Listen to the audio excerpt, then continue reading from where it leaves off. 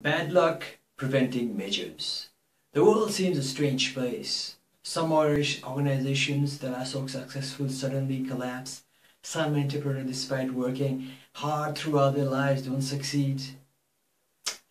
Is business really that unpredictable or are there telltale signs of eventual failure or fruitless effort?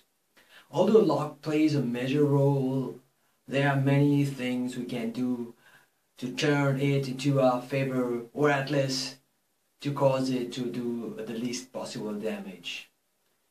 Bad luck 1. A natural calamity hit your city. Bad luck preventive measures.